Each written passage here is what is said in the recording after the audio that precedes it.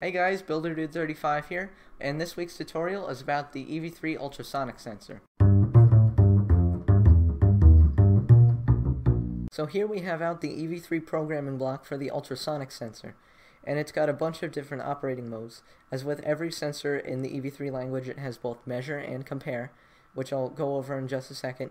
Under measure we have advanced, distance centimeters, distance inches, in inches, and presence and under compare we have distance centimeters, distance inches, and presence again. Now I'm going to start under measure. Distance centimeters and distance inches are very self-explanatory. It's basically going to output through this data wire the number of centimeters or number of inches that the object that is placed in front of the sensor is uh, away. And of course you have your choice of unit uh, between centimeters or inches. Now, this advanced section is similar to uh, distance centimeters and inches in the sense that it's going to measure the distance away from whatever object is in front of it. But in this case, we have a choice whether or not we want to choose ping or continuous. And ping, what it's going to do is just send out one ultrasonic signal and wait for it to come back. And continuous, it's going to continuously send out ultrasonic signals and continuously remeasure the distance.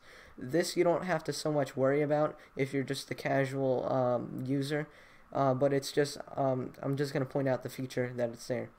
Finally, we have presence, in which the ultrasonic sensor stops emitting its own signals altogether, and it listens for other ultrasonic uh, sensors that are in the area. And if it hears another ultrasonic sensor's um, ultrasonic, um, well, rays, what it's going to do is going to uh, output yes or no, true or false, whether or not it hears another ultrasonic sensor and in compare we have this uh, most of the same operating modes with the absence of advance.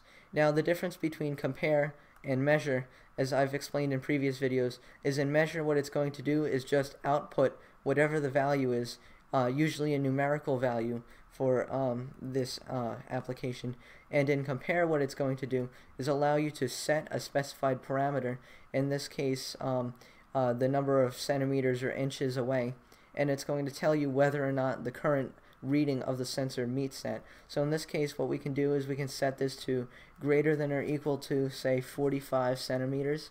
And if the current distance is greater than or equal to 45 centimeters, it's going to output true. And if it's not, it's going to output false. And again, we have distance in centimeters, just like from the measure case. And we have that for distance centimeters, distance inches, inches, and then presence or listen. Thanks for watching my tutorial this week. If you found it helpful, be sure to subscribe for more tutorials like this every week. And if you have an idea for a tutorial, be sure to submit it in the comments section below. Thank you, and I'll see you next time. Bye.